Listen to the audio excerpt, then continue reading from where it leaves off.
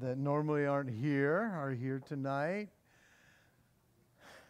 I joked earlier, our, our brother Mark Matthews is here. He's like, dude, are you just here to intimidate me? yeah, I'm not even going to look his way because if he kind of does this, it's like, dang it. I'm not intimidated by him. What the heck? Um, are we ready to go? I gave you guys some homework last week, remember? M- memorize all the names of this chapter. So, tonight, what we're going to do tonight, um, we're going to attempt the impossible. And that is, again, I'm going to try and read all these biblical names, which could be an impossibility on my part. Um, but we're also going to cover two chapters. I can't tell you if I've ever done two chapters at one time. Um, yeah, chapters 10 and 11. So make your way to chapter 10. Um, chapter 10 is known as the Table of Nations. Um, it is the genealogy of the sons of Noah, which I think most of the times we look at genealogies and our eyes begin to roll back a little bit. We kind of just skate through them. And it's interesting because I don't know how it is with you. You know, again, we might know up to our great grandparents or something like that. Some of you guys might know your family tree. But oftentimes for us, I think here in the United States, it's like, eh, it's not a big deal, genealogies. But in some countries, man, it is huge.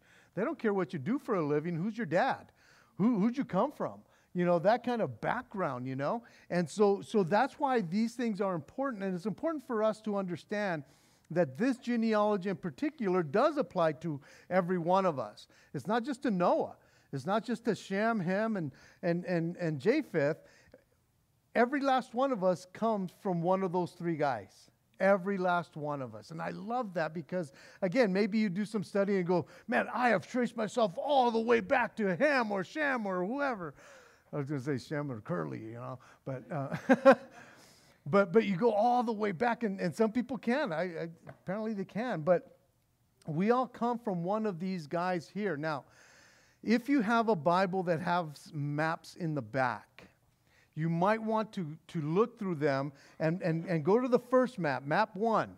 In, in, in most Bibles, map one is the nation, the nations of Genesis 10. Now, if you have a Bible that does not have that, I have some maps, map one here in the front, and I'm going to ask Jeremiah if you could just kind of walk around. And if you want a map, you don't have to have a map, but if you want a map, you can just follow along somewhat. So just kind of raise your hand a little bit. Um, so, so or, or, or you might want one just so you're not turning back and forth. But, but to me, I love maps. I love to know where I'm at, where I'm going this, this chapter can be a little overwhelming. And looking at a map, maybe you go, okay, I get it. I get where they're going. So Jeremiah will be passing those out. If we run out, share with your neighbor. Um, now, as one commentator says, or put it, chapter 10 of Genesis stands absolutely alone in ancient literature without a remote parallel, even among the Greeks, where we find the closest approach to a distribution of peoples in geographical framework.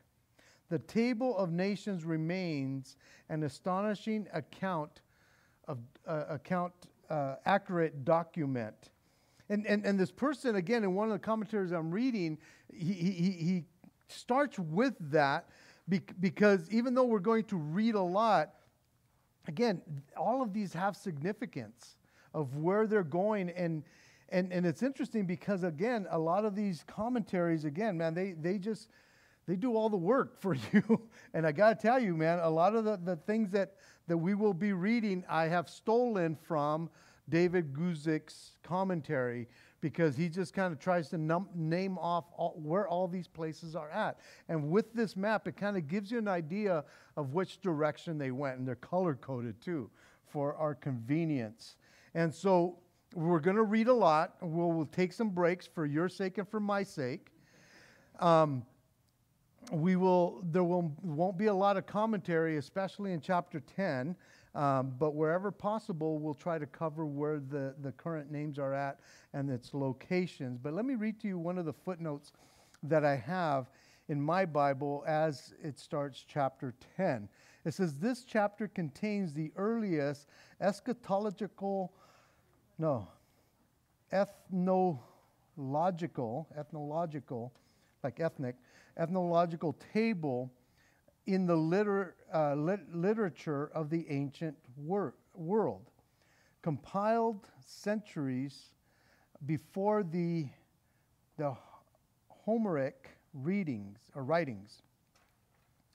In this table of nations, there is a remarkable perception of the ethnic and linguistic situation in the age of Noah and his descendants. Virtually all the names have been found in archaeological discoveries in the past century. So every one of these names, they, they have found out where they, they, they went to and stuff. Now, there's been some roaming going on throughout the centuries, but, but for the most part, this is really accurate of what we have here. And so again, I, I'm going to try to give it the old college try or high school try. I never went to college of how, how we're going to do this. So let's read the first five verses. Now, this is the genealogy of the sons of Noah Shem, Ham, and Japheth. The sons uh, and sons were born to them after the flood. The sons of Japheth were Gomer, Magog, uh, Madai, Javan, Tubal, Meshach, and Tyrus. The sons of Gomer were Ashkenaz, Rithas, Ritha, and Tugam, Tugomar. Tugomar. Tugomar. Okay, Tugomar. The sons of Javan were, were um, Elisha, Tarshish, Kittim, and Dodanim.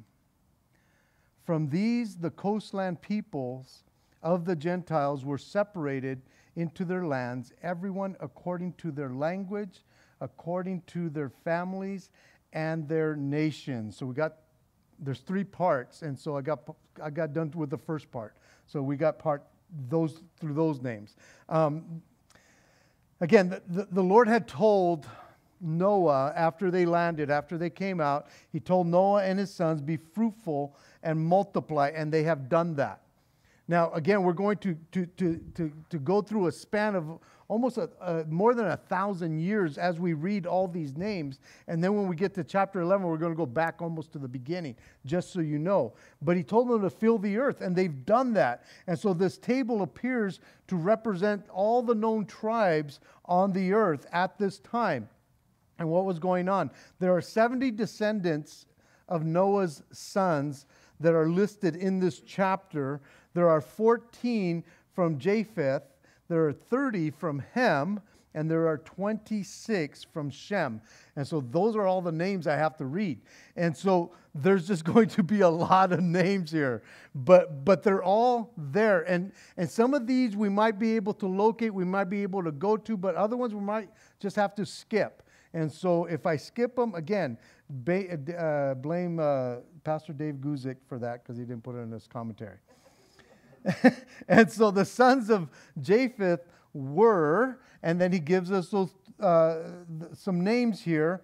Uh, Gomer comes uh, comes to uh, the like German type of people in that area. They go in that area, uh, and from whom came most of the, the original people in Western Europe, which include the French, the Spanish, and the Celtic people, the, the, those kinds of settlers up in Scotland and all those areas. So a lot of those people, and again, that's just a, a, a one family that goes up in that area.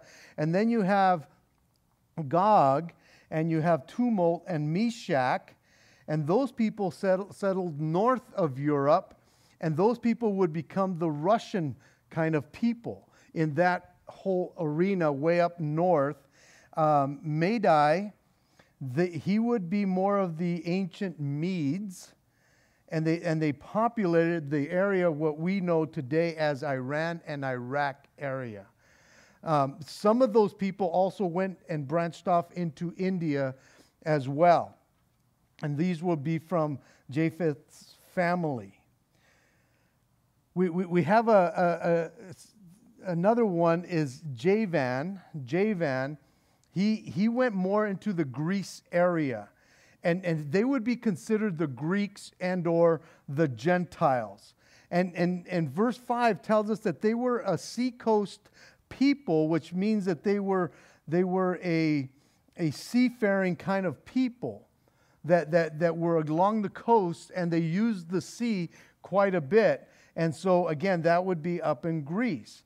Now, the sons of Gomer, it gives us three sons here Ashkenaz, Riphath, Riphath and Tagomar.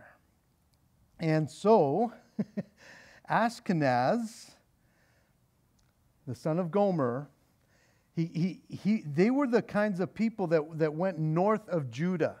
So when you look at your map and you see where Canaan and, and uh, the Amorites and the Philistines, they went a little further north of that. And they would be in, in that region that, that you get into Syria and, and those areas. And, and one of the commentaries said something about that these people were called the uh, a part where they settled, the northern part of, of Judah, uh, Judea, they were called the, the Fertile Crescent, which, which is the region where they settled, uh, they settled agriculturally in the Middle East and, and in the Mediterranean basin.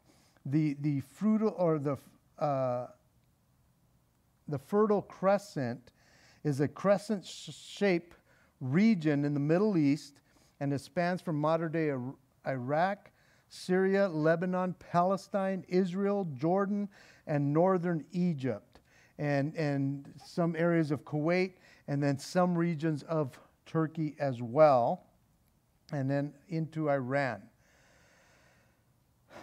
Togarmar, Togar, Togarmar, Togar, Garma, Togarma.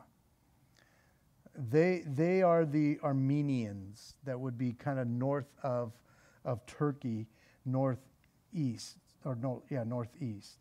And so the sons of Javan, Javan um, these guys are related, let me see. Oh, gosh. To, uh, let me see. It says here, I wrote down uh, Kittim, Kittim could be Cyprus, which is one of the islands in the Mediterranean. Rifa could be, um, could be Rhodes which is just north a little bit, right under Lud area in that er- arena. And Gomer would be Germany. Uh, Meshach is like Moscow, and, and tu, uh, Tubal could be to, Tobolsk, Tobolsk, Tobolsk, uh, up in the, in the Russia area, in the Baltics area, up there. Okay, got, got past that one. Let's go to verse 6 to verse 20. The sons of Ham were Cush, Mizraim, Put, and Canaan. The sons of Cush were Seba, Havilah, Sabta, Raamah, Sabtaka, and the sons of Raamah were uh, Sheba and Dedan. Cush begot Nimrod. He began, begot Nimrod. He began to be a mighty one on the earth. He was a mighty hunter before the Lord. Therefore, it is said, like Nimrod, the mighty hunter of the Lord. And the beginning of his kingdom was Babel, Erech, Akkad, and Cana, Cana in the land of Shinar. From the, that land he went to Assyria to build and built Nineveh, Rehoboth, Ur, and Kela, Kela, and Rezin, between Nineveh and Kela. That is the principal city. Mizraim begot Ludim, Ananim, Lehebem, Naphtuhim, Pathrithim, and Salishum, from whom came the Palestinians and, and Caphtorim. Ah, I almost got that one. Okay, verse 15. Canaan begot Sidon, uh, his firstborn, and Heth. The Jebusites, the Amorites, the Girgashites, the Hivites, the Arkites, and the Sinites, and the Arvadites, and the Zimarites, eh, Zimrite, and the Hemanites. I know I put S's on all of them, they didn't have an S. Anyways, afterwards, the families of Can- the Canaanites were dispersed, and the borders of the Canaanites was from Sidon as you go to uh, Ger- Ger- Gerar, as far as Gaza, then they then as you go towards Sodom and Gomorrah, Admah and Zeboim, as far as Lasha. Lasha. I'm running out of breath, man. And these were the sons of Ham according to their families, according to their languages and their lands and their nations. Is it hot in here or is that just me? Because I feel like I'm sweating like a televangelist right now, and I'm not even preaching it up right now. Man, oh man. Yeah, hey, I'm hanging in there. I feel like, hey, man, you're almost done with that part, man. Woo, doggy. And so here we are with the sons of Ham. And again, Ham was one of the guys that we, we looked at last week who had sinned against his father. They said that he was going to be cursed and, and that he would be a servant and blah, blah. And some people believe that it was him that, that, that just kind of occupied all of Africa and that he was cursed. And that's not, all, that's not the case because as you see, the names that we kind of mentioned here, um, they're in green, and they're not just in, in Africa, but they are in northern Africa, where we see some like, like uh, Cush. Um, that, that would be, uh, let me see, uh, some, some went to Babylon, uh, like Nimrod, and, and some of them went to Ethiopia. Now, Ethiopia is probably not the Ethiopia that we look at today. It's more north of that, kind of closer to the Red Sea, a little below the Red Sea. And Mizraim is another word for Egypt. Put is, is Libya. And so what we see here, they're, they're on the, the northern part of Africa and not deep Africa. And so a lot of those people are not black, but they're dark skinned. But you also see that that Canaan, they're part of Canaan, and, and that is where Israel, where, where Palestine is at, or the Philistines and the Amorites and all those areas, they go up until that part, but we also see the Hit, Hittites that are up in what we know today as Turkey. So and then it tells us in verse 8 that Cush begot Nimrod. And now Nimrod is an interesting character, and, and, and we, we, we, can take note of this man because it says that he was a mighty one on the earth. But not in a good way. he was more of a tyrant. And, and, and he ruled over in Babel, which would be up in, in what we would know today, modern day Iraq, in that region closer to the, the Persian Gulf area, in that whole area right there. And, and he was the first one that, and, and we'll see this in, next, in the next chapter, he was the one that really began to organize these human people, these, these, these people, because they were supposed to disperse and they hadn't dispersed. And they came together and they were almost wanting to fight against God. The name Nimrod, um, and again, I keep on going, what a Nimrod. Um, but. Um, but the name Nimrod itself means let us rebel. And so that's who this guy was. He was a rebel. And so when it says that he was a mighty hunter, the context is not really talking about that he loved to go hunting and kill animals. The idea is that, that again, he, he was more hunting men. He was going after people. He was trying to, to, to, to, to, to take over in a lot of areas. And so he would be more considered of, of, of a warrior, but he was a mighty warrior. And, and so people followed this guy, as we will see in the next chapter. Um, he, it, it's almost like he used his ability of killing and frightening people to, to, to kind of be a despot, you know, a, a tyrant someone that would be on top of people and try to bring them down. And so that's who this guy is. And so he, it tells us that his kingdom began up in Babel or Babel, however you want to pronounce it. But these areas up here, it tells us that it is in the land of Shinar. And Shinar is up in the Babylonian area. And so we see that, that he, that's where he took off to, and, and that's where he would reign there. And in the next chapter, we will see that again, that is where the Tower of Babel would be. And so this whole area was uh, the, the land of southern Mesopotamia. Uh, again, later came to be known as Babylonia or the Chaldea or Chaldea.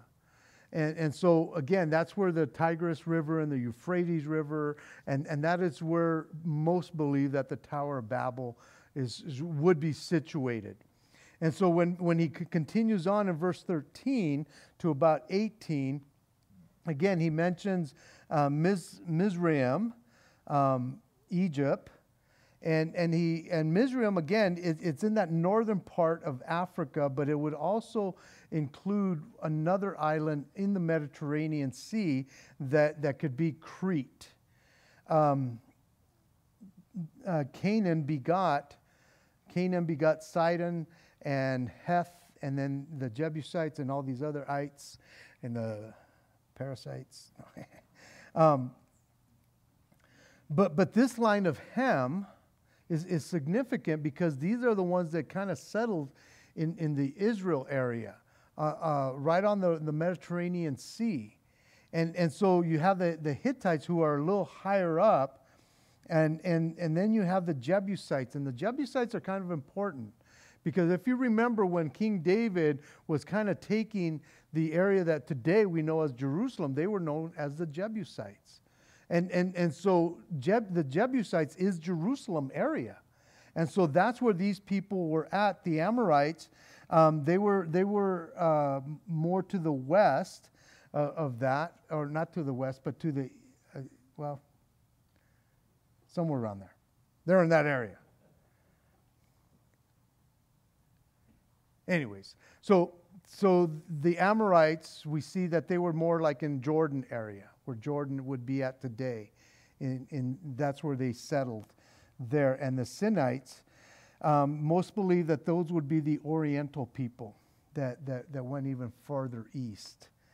Um, and so it talks about their borders. And so Ham co- covered the north, the east, and the south of the Mediterranean Sea almost. He kind of just kind of did this whole thing, skirted around there. Verse 21 to the end of the chapter. Woo! I don't know about you, but I'm getting excited here. It says, The children and children were born to Shem, the father of all the children of Eber, the brother of Japheth the elder. The sons of Shem were Elam, Asshur, Arphaxad, Lud, Aram. The sons of Aram were Uz, Hul, Gether, Mash. Arphaxad begot Selah, and Selah begot Eber. To Eber were born two sons. The name of the one with Peleg. For in those days the earth was divided, and his brother's name was Joktan. Joktan begot Almodad, Shilith, Hazar, Hazar Marvith, Jerod, Jerod, Hadoram, Azel, Dikla, Obel, Abimael, Sheba, Ophir, Havilah, and Jabad. Bab, Jabab. All these were the sons of Joktan. And, and these, and, and their dwelling place was in uh, Mesha as you go towards Shephar, the mountains, the mountains of the east. These were the sons of Shem, according to their families, according to their languages, in their lands, according to their nations. These were the families of the sons of Noah, according to their geneal, uh, geneal, generations in that nation, in their nations, and from these the nations were divided on the earth after the flood. Doggy! Thank you, Jesus. Thank you, Lord. Um, so it's interesting because Shem he, he, this is the line that's kind of important to us. All of them are, but Shem, he, he's the one that will that, that we will follow. And, and, and it's almost like maybe he, he put him last because after this, we're going to kind of follow him a little bit more because he will lead us into chapter 12, if you will. And so Shem is important. Um, where am I? Um, he, he, he comes, or okay, Elam comes from him, and Elam could be more of the Persian people, which would again be um, Iran, Iraq, um, Afghanistan, and that whole region up there. Asshur is the father of the Assyrians, which is up by Babylon, but closer to Turkey. Uh, Lud is the father of the Lydians, and that would be Asia Minor, which would be towards the north. Aram is the father of Arameans, Arameans or the, or the Syrians. Arphaxad is an ancestor to Abram and the Hebrews. Now, one of the things that we need to, to understand, the first one that is kind of mentioned after Shem, he is the father of all the children of Eber. The word, or the guy Eber, most believe that we get our, our, our, our Hebrew, no, we get the word Hebrew from Eber. That, that people were, were, were talking to him about Eber and Eber and Eber. And so they, we get the word uh, Hebrew from the word Eb, uh, Eber. Whew. And so where, where am I at now? 11. No, no, we're on verse 30, 23. So at Aram, Aram um, these guys, I'm trying to see. Aram, uh, Uz would be like uh, Arabia in that area. And Job came from the land of Uz. And uh, I'm just kind of looking. The, the, the, that last one, uh, Jobab, Jobab, some, some believe that he might be Job himself, the, the old Job guy. So it's, it's a possibility. I, I put it down there. But, but here we have four generation or four great events that, that, that happen as we go into chapter 11 now. We have four great events that happen, happen from chapter 1 of Genesis to chapter 11. Um, the creation of the universe, the fall of man, the flood, and what we will cover in chapter 11 is the, uh, the, the, the construction or attempted construction of the Tower of Babel. And those were the four main events that happened in, in those first 11 chapters. And these chapters, they reveal to us that when man disobeys God, God will judge them, and we see judgment coming upon them fairly quickly, it seems like, because we, we have it in one chapter or in a couple of chapters. But we also see his grace, because after each one of those situations and events, we see that there's always a new beginning. When Adam and Eve sinned, the Lord ended up killing an innocent animal and clothing them and promising that he would send a redeemer to them. When Cain killed Abel, the Lord allowed them to have Seth. And again, we all come from the line of Seth uh, for that, in that, and he carries on the godly line as, as well. And so the people of Seth, they intermarried with the godless Can- uh. And, and then, you know, we saw that the, the Lord wipes them out with the flood and he cleanses up everything. And Noah and his family uh, believed God's word, and now they are spared. And we get to this point, and, and time has now passed. And so, after the flood, the descendants of Noah, the three sons, they repopulate the earth. And this new beginning begins with Noah, and eventually um, they're, they're, they're going to be led into a revolt. And, and you almost kind of go like, man, with all the things that, that God has done in their lives, they go back to sinning. But that's who man is. And, and, and the graciousness of God that he could have just wiped everything out as we begin to read here. But, but again, he, he lets them live. And so, chapter 11, let's read the first nine verses. Now, the whole earth had one language and one speech. And it came to pass, as they journeyed from the east, that they found a plain in the land of Shinar.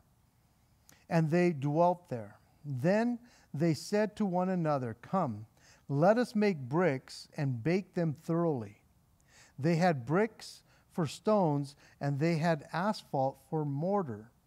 And they said, Come, let us build ourselves a city and a tower whose top is in the heavens. Let us make a name for ourselves, and uh, lest we be scattered abroad over the face of the earth. But the Lord came down to see the city and the tower which the sons of men had built. And the Lord said, Indeed, the people are one, and they all have one language. And this is what they begin to do. Now, nothing that they propose to do will be withheld from them. Come, let us go down and there confuse their language that they may not understand one another's speech. So the Lord scattered them abroad from over from there from there over the face of all the earth and they ceased building the city. Therefore, the name was called Babel, because there the Lord confused the language of all the earth, and from there the Lord scattered them abroad over the face of all the earth. It's likely that the events that we read here in chapter 11 occurred prior to or at the beginning of chapter 10. And so we're kind of going back a little bit in history because, again, it's described even in chapter 10 in some of these families that they were scattered in with their, with their languages and, and stuff like that. So it told us that over there, but now we're coming to, to this part where they are still all together. And so the, this describes what they were doing in chapter 10. They had all come together, and, and now God was going to, to bring a, a, a judgment on them. Um, the flood, if you remember last week, started in the year um, 2348 BC. And more than likely, Genesis 11 starts in the year 2200, 2200. And so, from the time of the flood to the beginning of chapter 11, where we read that the, the, they're going to come together and build something, it's about 148 years after the flood. And so, in that time of 148 years, a lot of people have been born. And, and, and, and in a little while, we're going to get into another genealogy, and that will take us even forward. So, when this is happening, again, at the end of chapter 9, we saw that that, uh, that uh, Noah had died, but he's alive at this time when, when the Tower of Babel is starting to go, because he lived another 300 years after the flood. And so, so when all this is happening, Noah is still alive. It's only 148 years after the flood. And it is quite possible that the story is placed here in Genesis so that it could lead us into that genealogy of, of, of Shem and where we're going because after this, the story shifts. It, it, it's almost narrowing down or funneling down to chapter 12. Because after chapter 12, one of the descendants of Shem the whole the, the, the rest of the book just about is about him and his sons and, and what happens after that. His name, Abraham, is all, uh, as we know, and he is the founder of the Hebrew nation. And so all of this is, is not chronological, if you will, but, but it's, it's literary. It's written out this way. Um, God commanded the people to be fruitful and multiply and to scatter and fill the earth. Well, they decided we don't want to do that. We want to stay a little closer to home. And, and, and so, what is interesting is all these people are being born. All these people are coming together, and they're kind of narrowing down. And God says, No, I want you to multiply and scatter. But they've made them their, their, their way from Ararat, and now they're down by Shinar in the plain of Shinar, which would be closer to Babylon. And that's where they settle. And so this move was basically a, a rebellion against God's command to scatter. And, and apparently, Nimrod wanted them to be in his city and he wanted them to be under his control. And so, this tower that is being built here in Babel what is what is known as a ziggurat. And a ziggurat, you've seen pictures, they almost look like, like, like pyramids and, and if you ever see, like down in, in, in the Yucatan Peninsula and those pyramids, they kind of go down like that and they have stairs going up. And so you can only go one way. Well, some of these, these ziggurats, they, they, they kind of go like that, but they're in stages. And you can climb here, but there's one that you can go all the way up. And so on these ziggurats, and again, I'm looking, you can look them up on, online and look at the photos and stuff um, when they've excavated these things, they realize that people were climbing and climbing and climbing. And when we look at a tower or we hear of, of tower, a Tower of Babel and we think, man, these guys wanted to get up to the clouds. No, they were just kind of going up, maybe, maybe 100 feet, maybe higher. But, but again, that's high. Nothing is higher than, they're not building monuments right now. And so to be able to reach that length what, what they were trying to do is, is, again, they were already starting to worship foreign gods. They brought that in. And so it's more of a pyramid and it's in steps. And they would, they would get to the top, and there was a shrine normally at the top of the ziggurat where the gods and the goddesses would meet with them. And so instead of going all the way up to heaven, as we sometimes look at the pictures, it's like, oh my gosh, look at how tall that is. It's like, no, they were just elevating themselves above the earth, even. Kind of trying to get closer to the heavens to where their gods can meet them right where they're at. And so the, the pictures that sometimes we get is like, man, they were climbing like Jack and the Beanstalk, man. They were just going and going and going. And, and God was like, oh my gosh, they're getting a little closer, you know. We're going to have to stop it. It's, it's, it's nothing of the sort. Um, they weren't trying to reach heaven to de- dethrone God. Rather, they were, they were hoping that their gods and goddesses would, would, would meet them right where they were at, but above the earth. And so these, these structures the structure in the city is called Babel, uh, uh, Babel, or Babel, Babel, which means the gate of the gods. And so this, this project, again, we, we, we think of these people coming together and, and it's their arrogance and their pride and, and they're, they're making up their own religion. Again, they don't want to do what God has told them to do. They're, they're trying to do it on their own. And, and, and so they're coming together to build something, but it's different than what we see in Psalm chapter 2, where the nations are gathering together to fight against God. They're not really fighting against God as they are ignoring Him and worshiping another gods, worshiping other gods. And, and so they're resisting what God had, had told them. He commanded them, He gave them an edict to scatter and to repopulate the earth. And they're saying, no, we don't want to do that. We're going to do it our own way. We want to do what we want to do. And so this is where, again, all of this is motivated by pride. Pride in, in, in what they can do. And, and, and when you look at the wording here, that they have come together and they are united. And when people are united like this, they can do just about anything, especially if there's fear involved, but, but they are united. And I, I, love the fact that here they are wanting to go up and, and, and climb up and elevate themselves. And yet it tells us in chapter or in verse 5 that the Lord comes down. and it's not like now the Lord has to come down. It's like, oh my gosh, let's see what's going on. He knows exactly what's going, down, going on. But here are these people that they're wanting to elevate themselves, and, and, and they're going to do a great job because nothing can stop them because they're united. They have everything going for them except one thing they don't have the approval of God to do that. and so God comes down.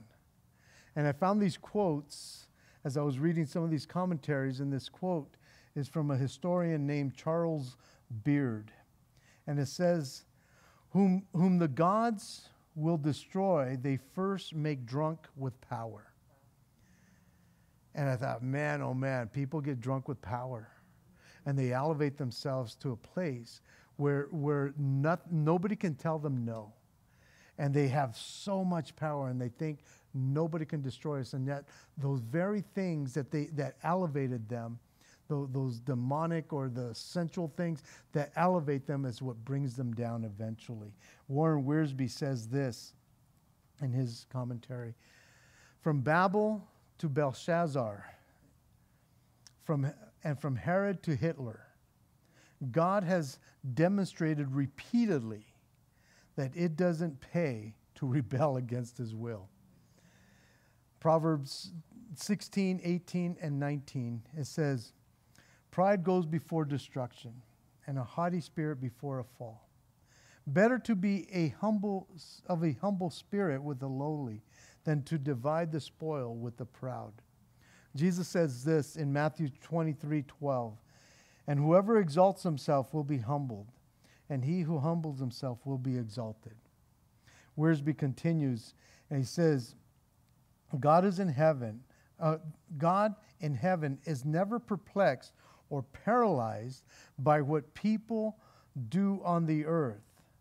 Babel's conceited, let's go up, was answered by heaven's claim, let's go down. And so in, in chapter 2 of, of Psalms 2 4, it says, He who sits in the heavens shall laugh, and the Lord shall hold them in derision. And so once again, we see that, that again, God didn't have to come down and investigate what was going on. He knew what was going on. He's the creator of heaven and earth. And, and, and because they have this, this, this, this language together, they were going to accomplish a, a lot of things. But God is going to come and disrupt all of it because he's going to put a stop to it. As I was thinking about this and, and just kind of reminiscing of what Mark shared on, on, on, on Sunday and the technology and all these things that man is doing, man is doing, God will interrupt when he has to interrupt.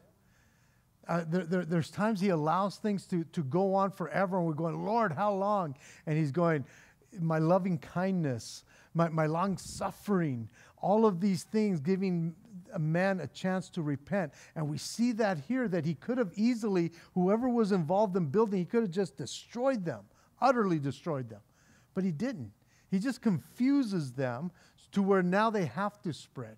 And he's giving them time, and we see his mercy once again that, that he intervenes and destroys what they're doing, but he doesn't destroy them.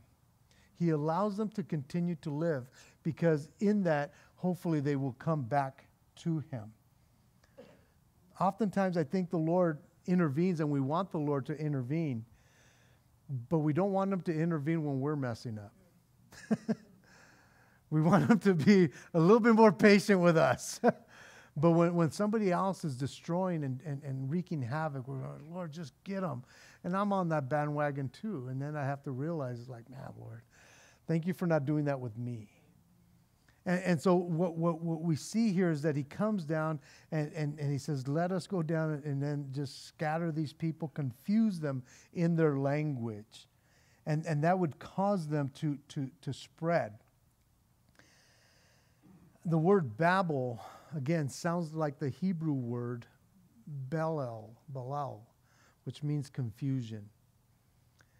Um, because, because there was going to be a judgment to confuse everything, to break it all down. And so the gates of, of the gods, which they wanted to do, had become like the door of confusions instead. And so nothing was going to be accomplished because God was going to, to separate all that. And instead of them making a name for themselves, they, they have a new name for the, the project and becomes it becomes a, a byword for us or something that we make fun of you know babble confusion you know stuff like that one of the commentators said that in the church God is not the author of the confusion, but in the world, God sometimes uses confusion to humble people.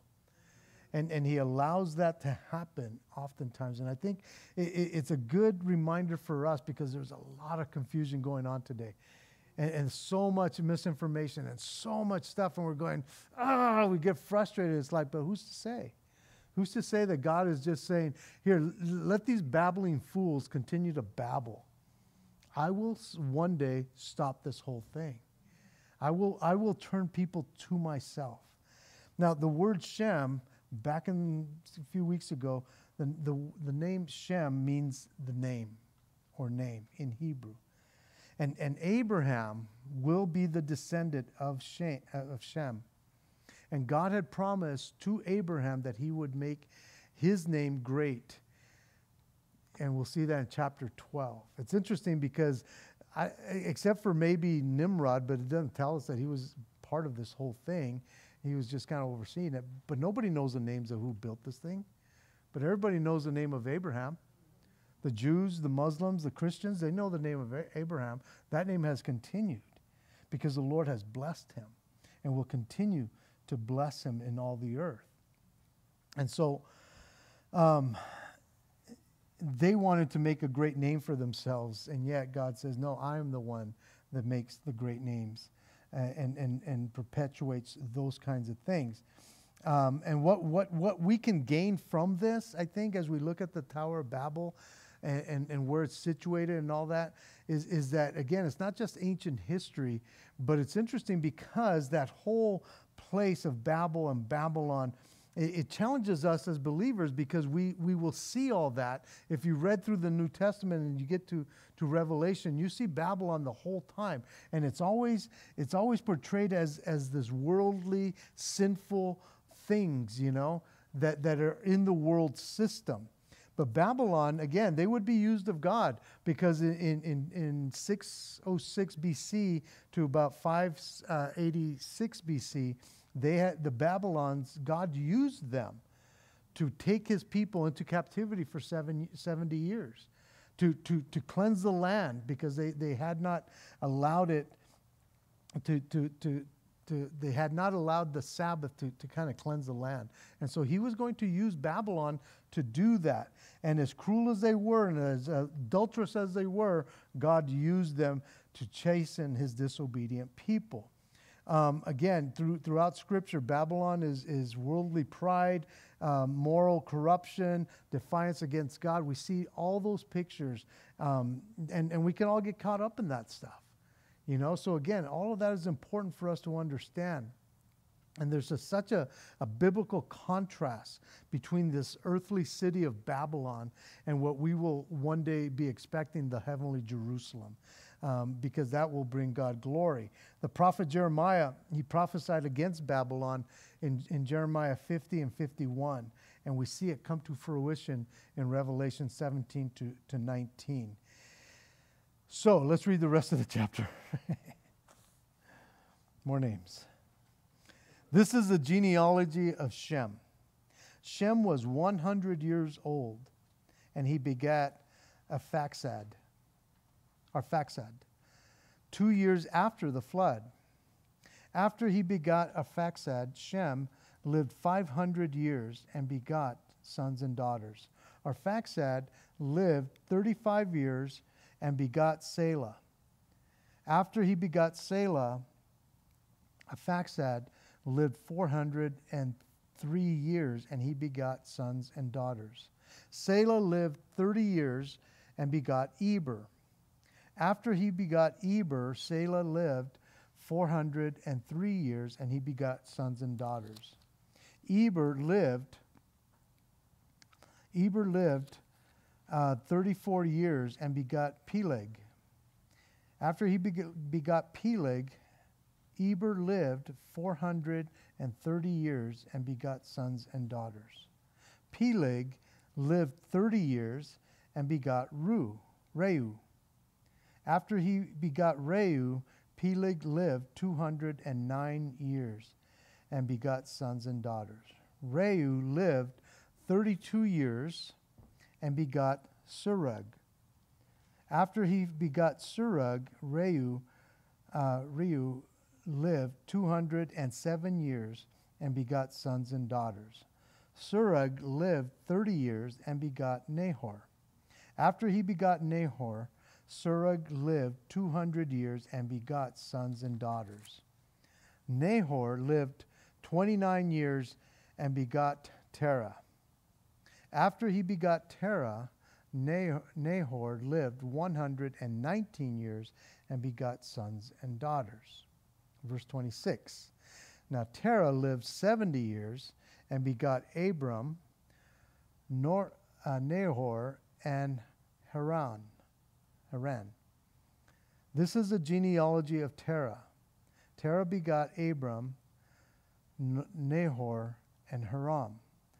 Haran begot Lot, and Haran died before his father Terah in his native land in Ur of the Chaldeans. Then Abram and Nahor took wives. The wife, the name of Abram's wife was Sarai, Sarai, and the name of Nahor's wife was Milcah, the daughter of Haran, the father of Milcah, the father of Iscah. Iscah. And Sarah was barren.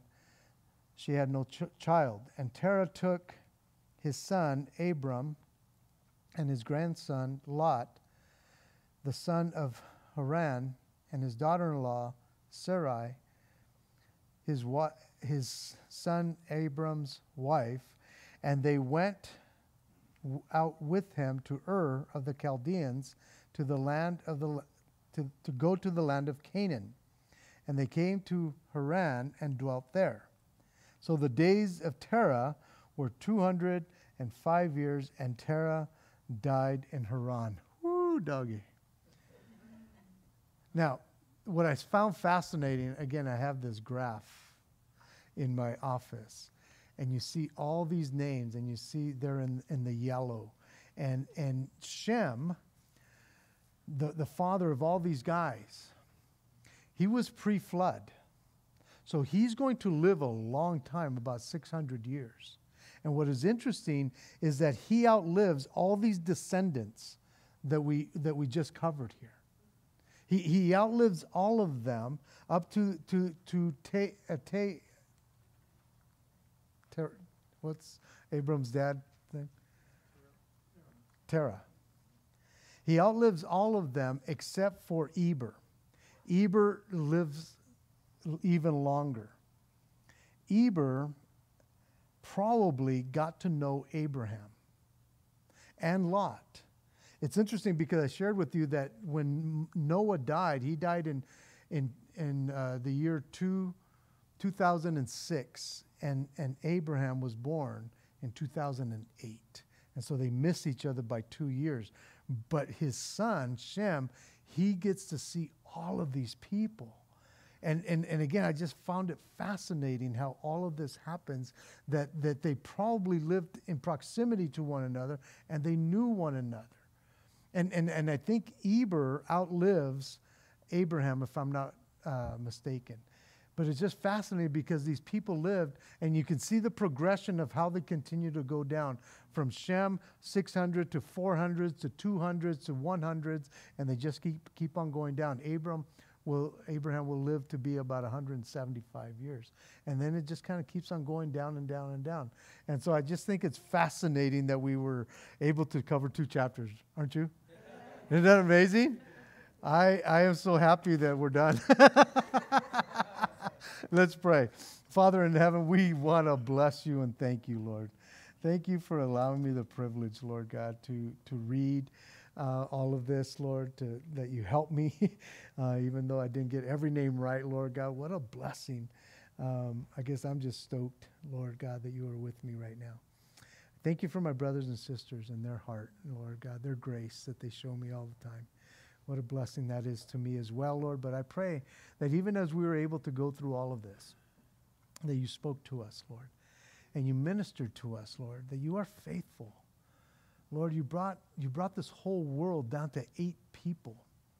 And yet, Lord God, this, this small little remnant you told to be fruitful and multiply.